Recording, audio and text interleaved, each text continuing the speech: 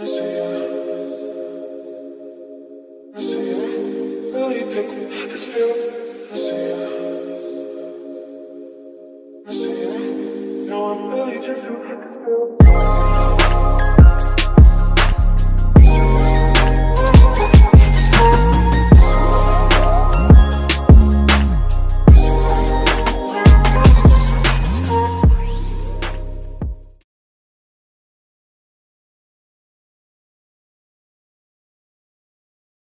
What's up guys? Welcome back to my channel and you already know what I'm getting ready to show you how to make. You've seen the previous clip, so I'm going to run down everything that you're going to need to make these beautiful sweet potato pies just like I did. Okay, so we have our 9 inch pie crust. They're actually deep dish. I got some eggs, granulated sugar, brown sugar. Now I have saran wrap over this because you know when air hits brown sugar it tends to, you know, stiffen up and we don't want that. I need it to be as moist as possible so it can be used properly in this dish. And I got a little bit of flour, all-purpose flour.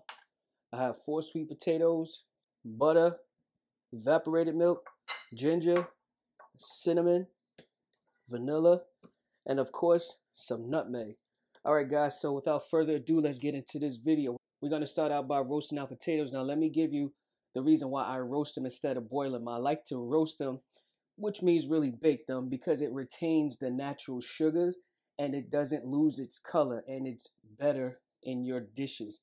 I don't like to boil my potatoes because when you do, they get a little soggy and it, it absorbs all of the water that it's boiling in and it has a light pale color and we don't want that.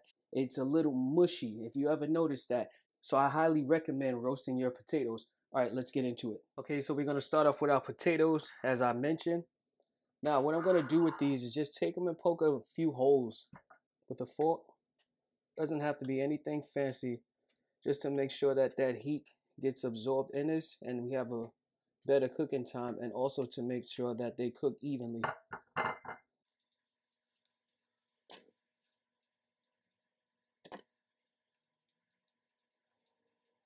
And I already cleaned these uh, prior to the video.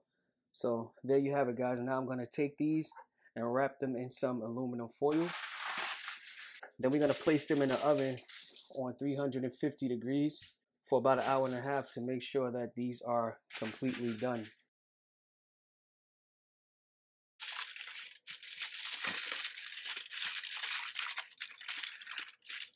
I like to bake mine in foil because it retains the moisture and it doesn't get that burnt look on the bottom. You'll see when they're done.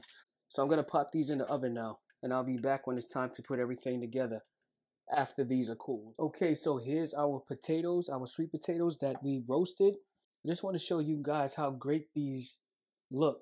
You see, normally when you roast them without foil, they usually be really dark on the bottom and burnt looking.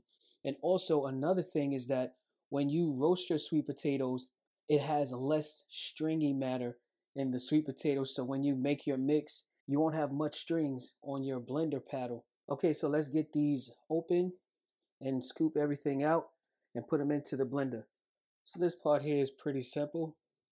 Just want to slice it down the middle and grab yourself a spoon and just scoop it on out. See that?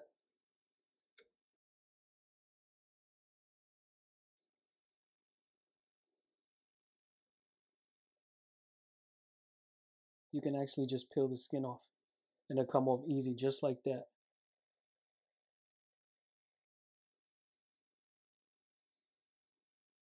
See? All right. Okay, guys, I'm going to do the last two off camera so I don't have to hold you here and bore you. And I'll be right back. All right, guys, so I managed to get all of the sweet potatoes out of their skins. So I have everything set up over here. So I'm going to mix this to puree it to make sure that we don't have any strings in it.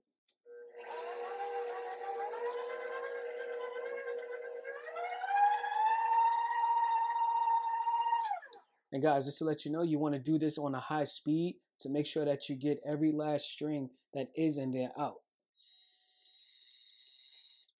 You also want to scrape down the bowl to make sure that you're getting everything.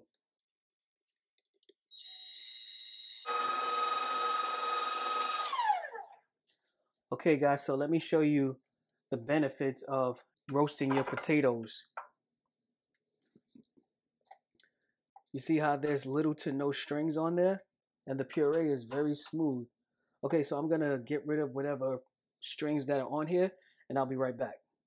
All right guys, so for me, first things first is that I'm going to be adding my butter, my one stick of melted butter to our sweet potatoes. Okay, we're gonna mix that in.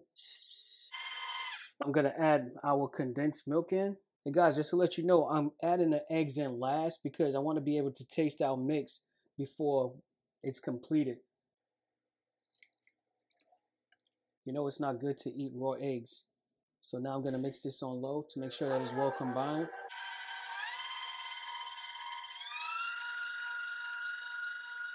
Okay guys, so I added in the brown sugar and the white sugar. So now I'm going to mix that up. Okay, let's add our vanilla.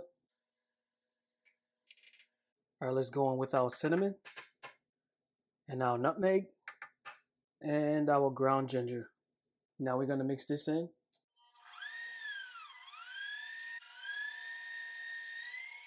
Okay, this looks good to me. It's nice and smooth. Okay, so I'm going to give this a taste to make sure it's sweet enough and it has the right amount of spices. Mmm, that is perfect. Okay, so everything looks good and so does the consistency. Let's add our eggs.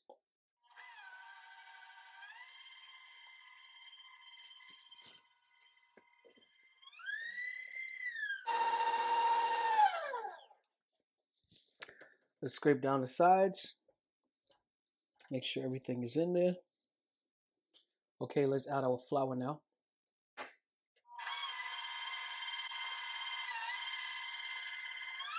Ahead, guys, so I went ahead and put our pie filling inside of the crust and I'm going to place these in the oven now on 350 degrees for 45 to 50 minutes. Guys, so our pies are done. They're looking good to me. So now I'm just going to let them cool off completely before we're able to cut into them. All right, y'all, so we are back and guess what? It's time to taste the pie. All right, so I'm going to cut me a slice out and we're going to see how we did.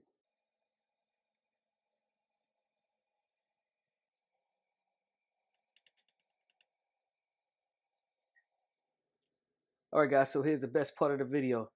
So I just put a little dollop of whipped cream on it and a dusting of cinnamon. Isn't that pretty y'all? Okay, so let's see how we did. First bite goes to you. Now me. Mmm. Wow. That is definitely a winner. It has the right amount of sugar, the right amount of cinnamon, nutmeg, ginger. Guys, I definitely recommend this recipe. And the crust is flaky, it's perfectly cooked. And the consistency of the sweet potato is nice and smooth and creamy and is packed with flavor. Guys, I recommend that you definitely give this recipe a try. Bring it to your next gathering or just simply make it for your home you won't be disappointed. So, with all that being said, guys, thank you for watching. Definitely make sure that you subscribe to this channel, like this video, share, and definitely comment below. See you in the next video.